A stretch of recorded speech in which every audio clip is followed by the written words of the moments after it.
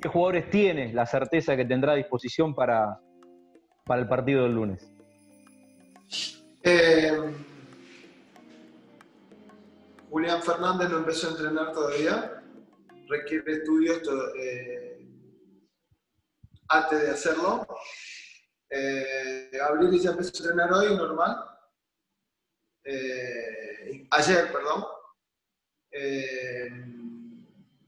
Gentiletti está en forma diferenciada, vamos a tener el tiempo de espera necesario, dado, que tiene una muy buena preparación y tiene experiencia al respecto, así que agotaremos los tiempos. Eh, la, verdad que no tengo una, apreciación eh, directa sobre el tema porque no he hablado después del entrenamiento con él. Eh, no me acuerdo qué más me dijo. Ah, Nacho entrenó normal. No, entrenó normal desde hace varios días ya y, y sí, tampoco Nico Castro por una cuestión de, aislamiento, ¿no? Eh, así que más o menos ese es el panorama. Frank, ¿qué tal? Buen día. ¿Cómo le va? Buen día. Bien, bien. Bueno, eh, en esa línea que estaban hablando recién, le quiero consultar si, o viendo la situación de Gentiletti, se puede definir el equipo eh, estando tres días del partido. No, no porque falta mucho tiempo. Hoy, hoy la conferencia es muy lejana al partido, entonces hay muchos días de entrenamiento todavía y, bueno, si bien eh, tengo satisfacción por el funcionamiento y la actuación del equipo del partido pasado verdaderamente es muy temprano todavía y no es por esconder nada, simplemente porque necesitamos eh, no decir algo rápidamente cuando todavía falta mucho tiempo para definirlo. Hola Fran, buen, buen mediodía, no sé si me escucha. Buen día, sí, sí. Bueno, eh, si bien obviamente todavía no puede definir el equipo por una cuestión lógica, por los jugadores por ahí este, que están este, en recuperación o, faltan varios días, le quería consultar por el rival, por Talleres, que uno lo ve un rival, este, no sé si coincide conmigo, muy disciplinado, este, muy aguerrido también.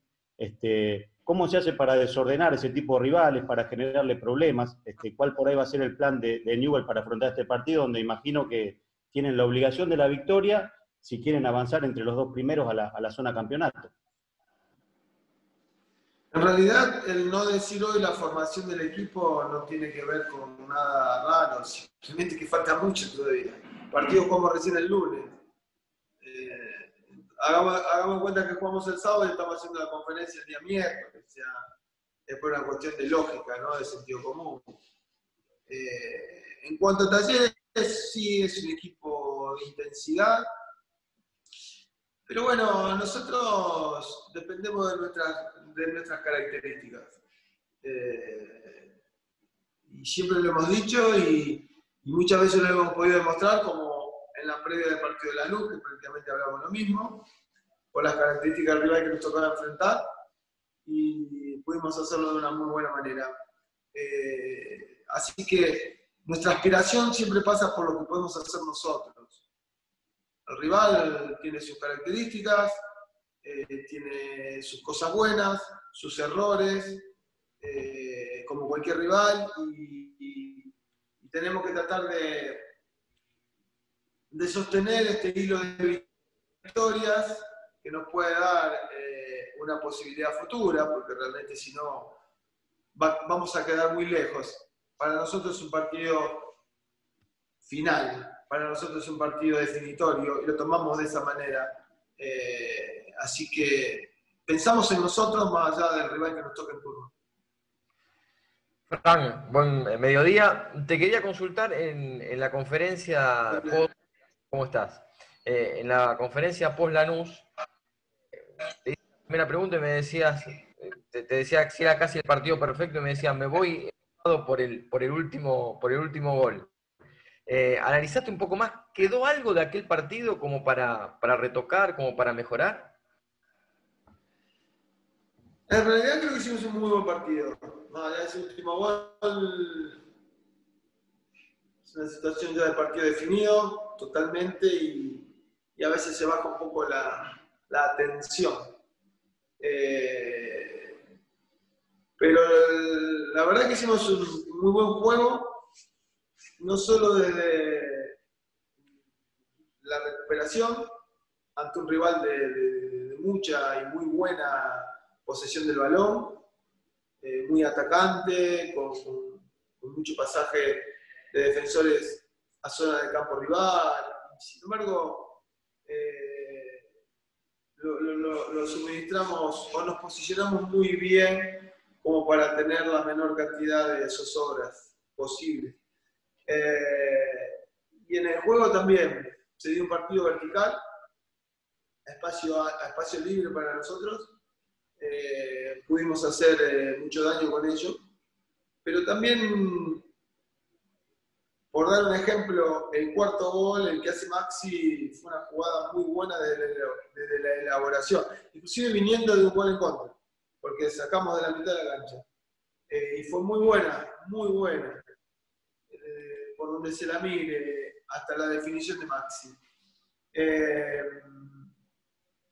así que creo que a la buena posesión que tuvimos, muy buena posesión que tuvimos contra Boca, fundamentalmente en el primer tiempo, eh, le agregamos lo que nos faltaba o que, o- o que entendíamos que teníamos que mejorar, que era de tres cuartos de cancha hacia el arco rival, o sea, en la zona de definición. No solo hemos logrado muchos goles, más allá que fueron un par de estrategias de pelota detenida, porque, porque también tuvimos muchas opciones de gol, no solo la cantidad de goles que hicimos. Y bueno, en ese sentido es, es lo que pretendemos, ¿no? Ser un equipo de posesión, a lo mejor de más pases o mayor cantidad de pases o de mayor verticalidad, depende de la estrategia del rival al cual tenemos que enfrentar, eh, pero sí con, con abundancia de gente en la zona de definición y con definición, que de pronto fue lo que no teníamos y lo que sí hicimos en el partido contra la Luz. Así que en ese sentido, eh, satisfecho, pero lo tenemos que, lo tenemos que repetir, porque si no, no nos va a alcanzar. Eh, y después, bueno, está lo otro, ¿no?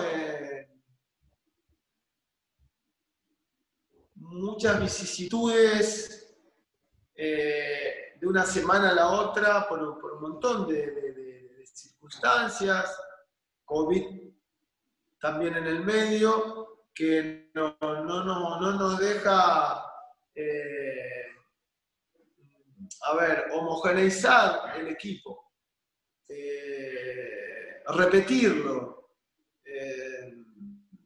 por lo menos en la semana. Después, bueno, veremos el lunes si podemos repetirlo o no. Pero bueno, insisto, ¿no? Con este tema de, de, de- de- de- de- de contagios y demás, y de otras situaciones que no solamente pasan en nuestro equipo, que, que provienen de tantísimo tiempo de inactividad, y con el correr de la competencia, pues van cuatro partidos, no es que van diez. Eh, y se ha visto, si ustedes retrotraen a la información, se ha visto la innumerable cantidad de lesiones que hubo, por ejemplo, en los, en los países que iniciaron primero.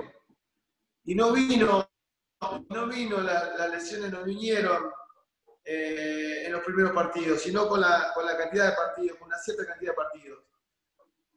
Pero bueno, debemos convivir, no solo con la posibilidad que haya jugadores que se resientan o se, o se sientan, digamos, muscularmente o de otra índole por, la larguísima inactividad, eh, sino también con, con los contagios, ¿no? Que hace que, que no tengamos una semana de pronto tranquila en decir estamos todos. Pero bueno, insisto, no nos pasa a nosotros nomás, tenemos que aprender a convivir con eso y, y buscar las este, estrategias más claras que podamos tener como para solucionarlo día a día, porque imagínense, para terminar la respuesta, perdón que fui largo, pero quiero ser fundamentado en lo que digo. Eh, y para terminar esta respuesta, imagínense que tuvimos que cambiar un jugador a las 12 del mediodía cuando jugábamos a las 4 de la tarde. Bueno, nos toca eso, no es para quejarse, solamente estoy planteando una respuesta tal su pregunta. Frank, eh, hablando de, las posibilidades que tiene Newell de clasificar a la siguiente fase, eh, ¿cuánto los complicó ese resultado de Talleres en, la bombonera que, eh, que, rompió en algún sentido la lógica del grupo? Y si hoy convendría que, que gane Lanús, digo, para que Boca también se meta en la conversación y que Newells después también tenga la posibilidad de ir a la bombonera y, depender de sí mismo, está claro, lo primero que necesita Newells es ganar el lunes. A eso voy, en eso solamente me voy a detener. Lo demás lo puedo suponer, lo puedo desear, pero no lo puedo manejar. Porque no estamos en esas canchas, ni la que pasó, ni la, que, la de esta noche o la que vendrá. Eh, nosotros, como se lo dije el otro día, antes, o se lo dije a ustedes antes del partido de Lanús, el partido de Lanús teníamos que ganarlo, porque si no, no teníamos más chance. Y creo que más o menos le dije así. Eh, o nos dedicamos a la zona de arriba o, tenemos que terminar el campeonato en la zona de abajo por la Sudamericana. Eh, y bueno, es, repetitivo, pero vuelve a ser la misma verdad o la misma realidad. Eh, nosotros tenemos que ganar, si no estamos en lista de espera y lejos. Eh, entonces, solamente puedo pensar en que mi equipo se prepare, como de hecho lo está haciendo, se mentalice, como de hecho lo está, para saber que en este campeonato y en esta fase primera, esta es una final. Si ganamos, dependemos de nosotros. Si ya no lo hacemos, ya dependemos de, circunstancias que no podremos manejar porque son de otros equipos. Hola Frank, eh, buen día. Em, cuando un entrenador generalmente viene de, una serie de derrotas o de resultados negativos, suele cerrar filas y armar un equipo como para conservar lo poco que tiene eh, de alguna manera. Usted hizo lo contrario en el partido con Lanús, a tal punto que el contención era Pablo Pérez, estaba acompañado de Aníbal, de Maxi y, de los tres delanteros. Em, a partir de eso, ¿sintió una especie de, satisfacción personal durante toda esta semana de que la estrategia ofensiva planteada eh, terminó saliendo? Al margen que las victorias y las derrotas son, son colectivas, pero ¿sintió una, una satisfacción personal después del partido con Lanús? Mire, primero le voy a decir que es mi estilo de ver el fútbol y de hacerlo jugar. O sea, eh, si yo hubiese, hubiese, sido conservador en mi vida, hoy no estaría siendo técnico de Newell's Boys. Eh, algo que es natural. Algunos conservan más, otros no. Entonces, siempre las herramientas que busco para, solucionar, después en este caso de, de ser dos partidos perdidos, tienen que ver sin denaturalizar mi forma de pensar. Que eso no tiene nada que ver cómo uno dispone un equipo dentro de la cancha. Yo estoy hablando de estilo.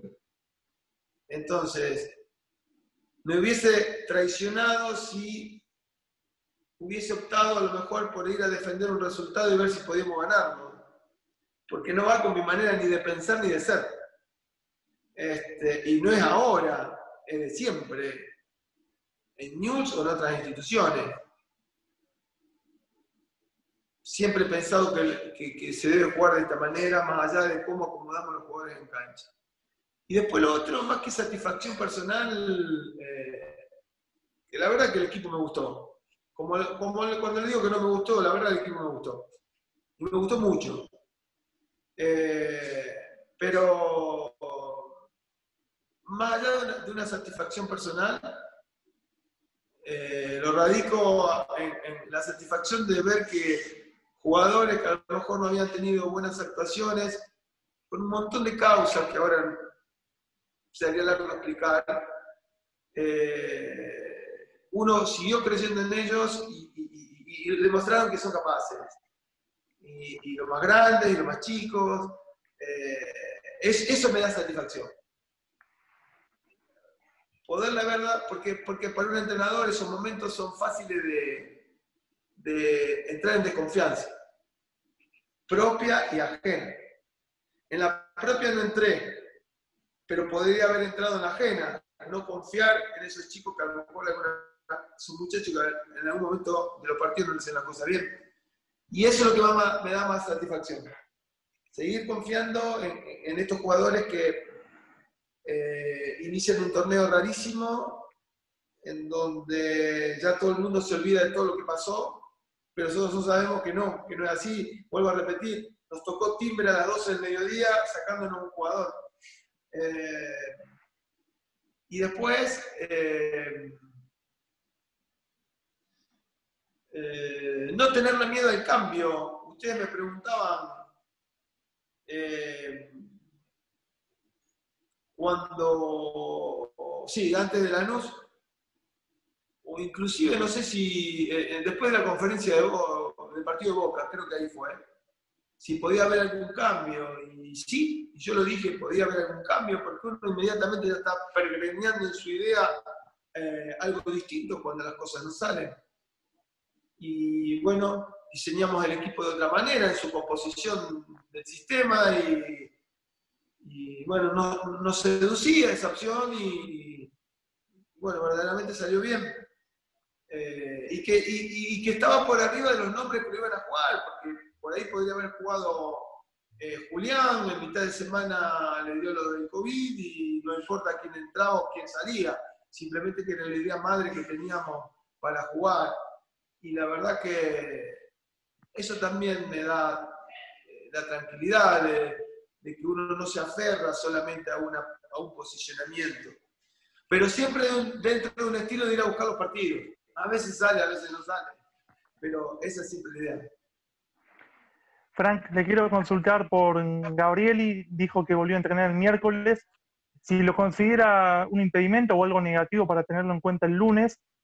Y puntualmente por Gentiletti, eh, pensando en un hipotético reemplazante, ¿es Guanini ya o, o podría, por ejemplo, pensarse en Capazo, que no, no sabemos cómo es el día a día de él? Se lo explico eh, para que esté todo claro. Eh,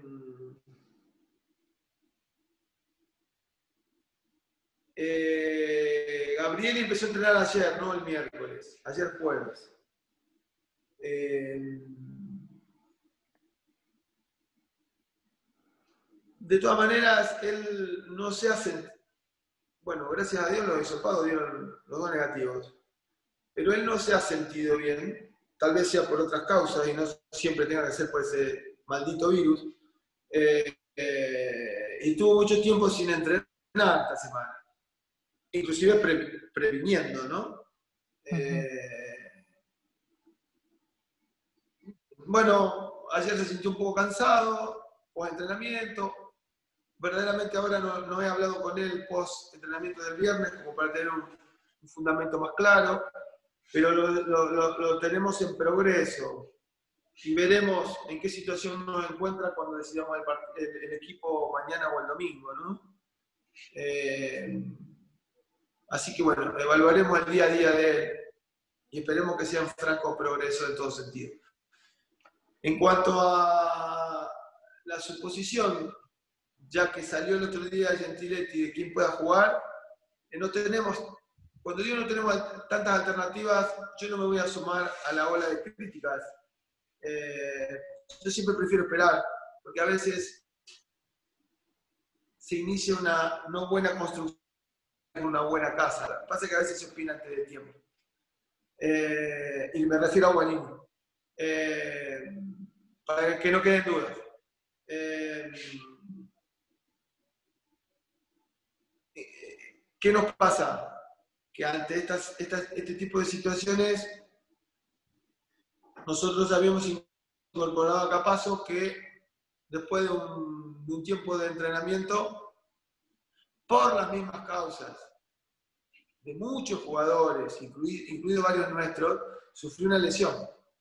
¿Por qué? Porque ambos, incluido Bobanini, vivían en un lugar del país, aunque nadie lo tenga en cuenta esto, yo sí lo debo tener. Vivían en un lugar del país donde estuvieron, no podían salir ni a la calle. Entrenaron durante tantísimos meses en un departamento cuando podían. Y era lógico que después de tantísimo tiempo pueda haber alguna eh, eventualidad de lesiones, como como en este caso la ha tenido Capazo. Le explico un poco, porque si no, eh, al no saber se puede opinar de cualquier cosa. Y hoy Capazo está en franca recuperación, pero no para ser tenido en cuenta. Eh, a partir de ahí nos quedan todos chicos, chicos de reserva, inclusive que no jugó tanto en reserva el año pasado. O sea que la suposición es la que ustedes todos suponen.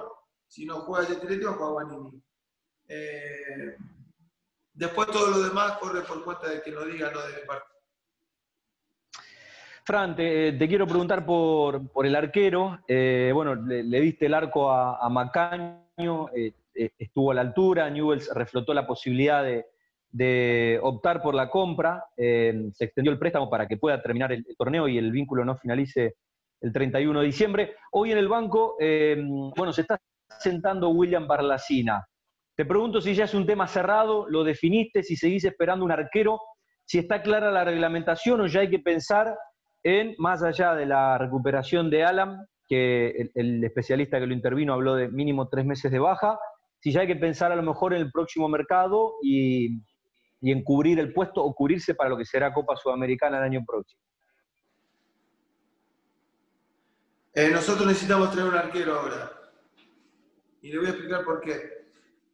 Yo hablo desde lo futbolístico, no hablo ni de lo contractual ni de lo económico. En eso no me meto, hay gente destinada para eso. Eh, siempre tuve confianza ante una necesidad como la que tuvimos por Alan en Macaño, sin ningún tipo de dudas. Aparte estamos hablando de un jugador que ha tenido muchísimos partidos en Nacional B, o sea, no es un chico que no ha jugado nunca. Pero a su vez sus condiciones siempre fueron muy nítidas, en las cuales yo confío, confiaba y confío. Eh, pero nuestra estrategia de este campeonato que se hizo de última y que nunca supimos cómo iba a ser, fue sostener no la misma realidad que teníamos el año pasado, donde teníamos a Alan, un arquero que hoy está jugando titular en, en Godoy Cruz de mucha experiencia ante cualquier necesidad, eh, y un chico joven con cierta experiencia que era Macaña. O sea, estamos muy cubiertos. Este año, por una cuestión hasta económica, decidimos sostener a Alan, a Macaño y que el tercer arquero sea un chico al cual le veo muy buenas condiciones a futuro, pero inexperto al fin. Eh, pero nunca pensamos que nos iba a pasar esto con Alan. Eso nunca se piensa. Y ante esta vicisitud nos encontramos con la misma confianza que tenemos en Ramiro, pero donde a partir de ahí y en el cual en este momento no solamente podemos pensar en que uno se le rompe una uña, por decirlo de una manera, de una lesión leve, perdón, perdón, el ejemplo, sino que no sabemos quién estornuda. Y cuando digo quién estornuda, no sabemos a qué me refiero. Eh, al virus. Eh, y, contamos con dos chicos muy jóvenes, inexpertos, buenos jugadores, como Arlacina y Herrera, pero, pero muy nobles, eh, y bueno, por eso digo que en este momento necesitamos terminar el campeonato con otro arquero que esté cubriendo lo que eh, no podemos cubrir en este momento. Y no tiene nada que ver con no apostarle a los jóvenes, porque ustedes ven que yo cuando tengo que ponerlo los pongo sin ningún tipo de problema, sino que como entrenador tengo que tener la, eh, la certeza de que cuando lo hagan sea algo beneficioso, beneficioso para todos, para él y para la institución, en función de su futuro. Y no que sea porque no hay otro y donde muchas veces, y hay seguramente miles de ejemplos dentro del fútbol, donde por apresuramiento, por necesidades sin planificación, eh, o porque se lo pide a mansalva, se han quemado jugadores. Y no estoy diciendo ni que no sirvan, ni que si hay que ponerlo no lo pongamos. Simplemente que ante todo este tipo de situaciones que nos toca vivir, a mi modo de ver tendríamos que tener un respaldo de alguien de más experiencia, de aquí hasta que termine este campeonato. Si no es así, pasará por otras vicisitudes que no, no, son de mi resorte ni de mi, eh, ni de mi decisión. Y fundamentalmente lo económico y la decisión política e institucional. Eh, pero futbolísticamente sí lo necesitamos. Bien, Fran, no sé si me escucha. Sí. No, en relación a la pregunta que usted eh, contestaba este, con sus argumentos este, que le hizo recién Tati sobre el arquero, si hay un plazo este, final para que puedan tomar esa decisión en cuanto a sumar un refuerzo en el arco, si hay nombres en carpeta y si Rodrigo Rey, que había estado en Newells anteriormente, es uno de los, de los candidatos. Y le agrego una cortita, ¿qué significa que Maxi ayer, si bien usted debe hablar todos los días con Maxi, haya dicho que se queda, que tiene ganas de seguir, a cumplir su contrato, tanto para usted, que siga Maxi, como para el grupo. En relación a los arqueros, yo nombres no voy a dar. Eh, los tiempos los maneja eh, el área correspondiente de la institución. Eh,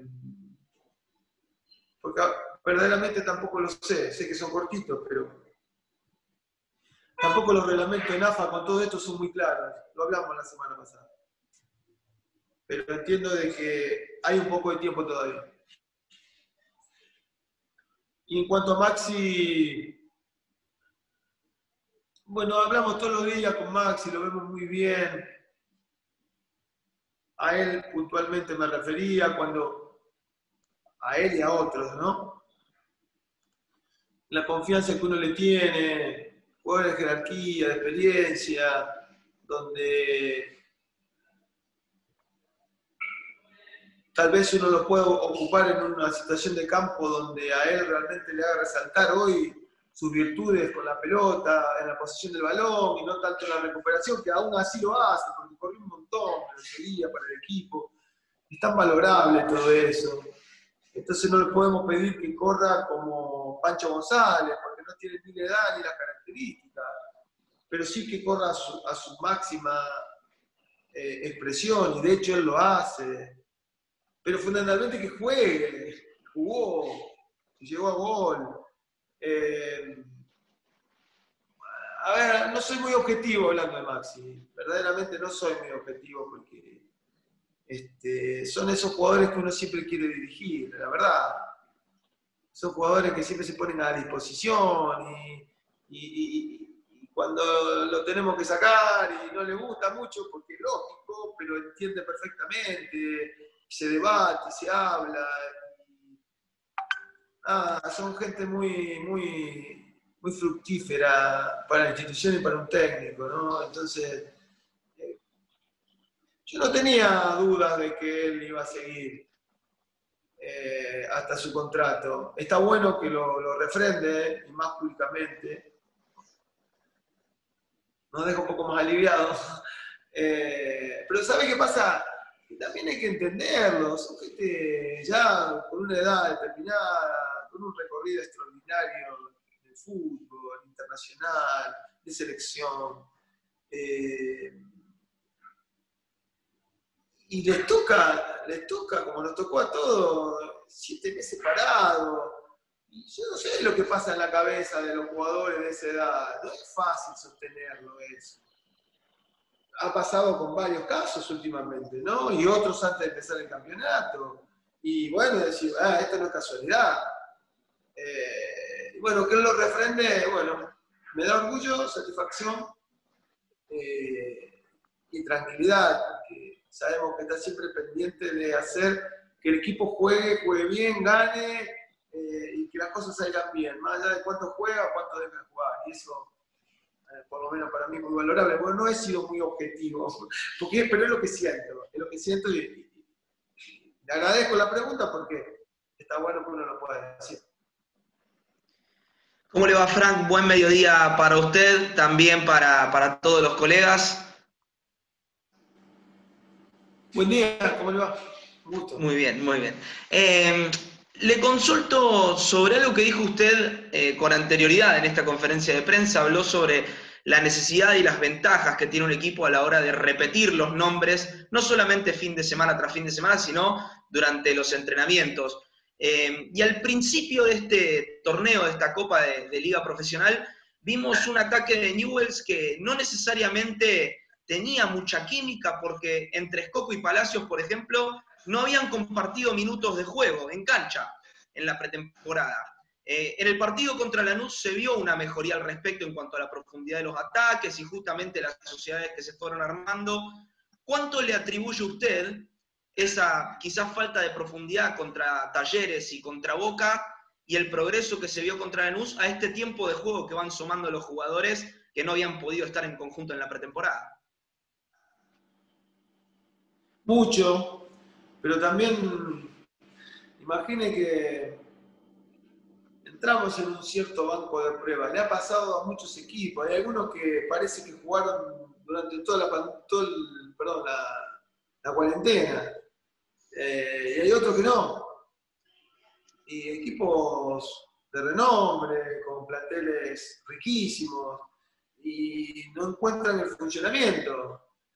Eh, y hay otros que no lo encuentran y ganan por, cualidades individuales. Eh, es, muy nítido, bueno, nosotros estamos todo el día observando eso. entonces son situaciones que uno tiene que estar en un banco de pruebas en competencia ya sumado a lo que hablamos anteriormente, todas estas posibilidades de, bajas que, hay sin que uno las sepa ni las prevea. Eh, y después, bueno, después hay una convivencia que es rara, porque como le pasa a, la sociedad, te imagino, le pasa a los jugadores, nos pasa a todos nosotros, se contagia un compañero o algo y no sabemos a quién le toca, no sabemos qué, nos pasa, hasta que no nos hisopemos. Debemos tener como 15 o 20 hisopados, yo qué sé cuántas veces no hay hisopados. Estamos siempre pendientes de eso.